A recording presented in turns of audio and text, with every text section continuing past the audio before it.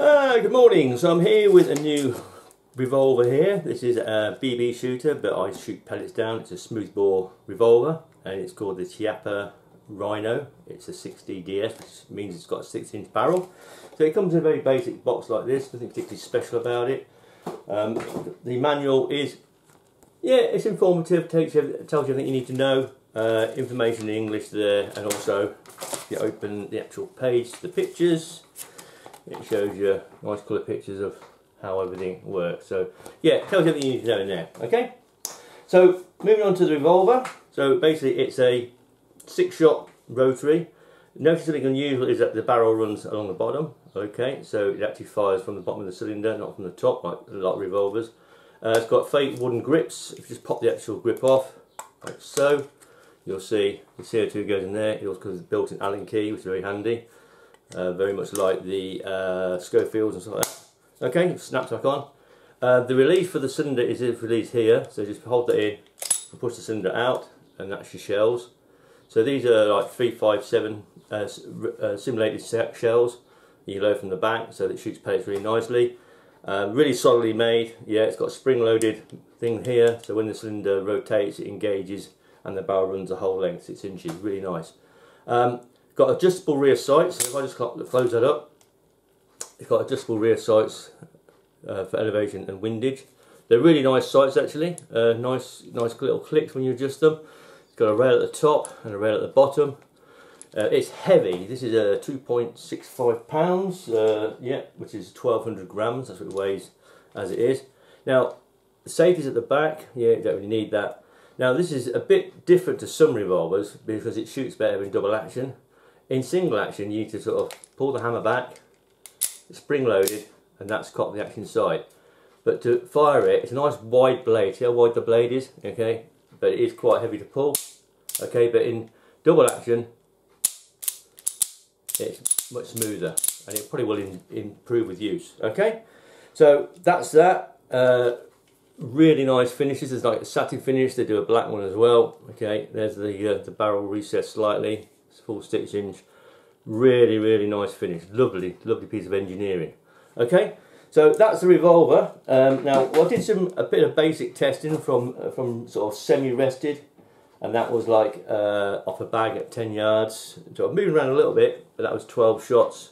Okay, pulled a couple to one side, but that's basically if I get my two pence coin, which is an inch, and I just put a two pence coin over there like so. Yeah, you basically got 10 shots inside that inch, that sort of, sort of semi-rested. I also took it outside, same distance, 10 yards, and I did 42 shots uh, freestanding, and that's pretty good actually, yeah. Uh, again, if I put two pence coin over it, which is an inch group, yeah, that's not bad at all, I think. So there's just a few outstanding. So there's probably, I'd say 10. So you've got 30 odd shots in the centre there, pretty centred. Did a little bit of adjustment on the rear sight. That was using the uh, the Super Fields, which are 8.4 grain. Thing I like about these as well, they've got a 4.52mm head, so they're the largest head size, but they're quite a long pellet, so they shoot really nicely down smooth bore uh, barrels. Okay, so if you if you revolver, normally revolvers do will take pellets in the back, and they do shoot very well. Yeah, and you can see by the accuracy, it's, it's pretty good out of the box. Okay, did a Chrony test. excuse me, uh, 60 shots from a CO2 and that's your the graph. Yeah you've got your energy at the top and your FPS at the bottom. It looks erratic but it isn't.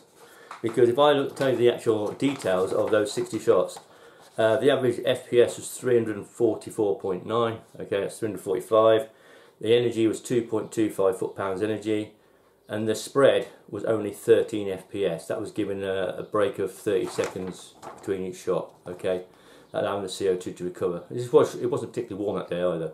So yeah, so the performance wise it's pretty good if you allow the CO2 to recover. So that's that's really good. So yeah, do, what do I think about this revolver? I really like it actually. I mean, I, it's got a nice blade, a, a, broad blade as well, so you can get a, your full finger on it. It actually indexes really nice, so you can put it out. It's a bit weird that on, on, on if you cock the hammer in a single stage, it's quite heavy to pull. But if you do it double action, but I shot those double action by the way, freestanding. So yeah, that's pretty good. Yeah, I'm not sure whether these shells are compatible with any other revolvers.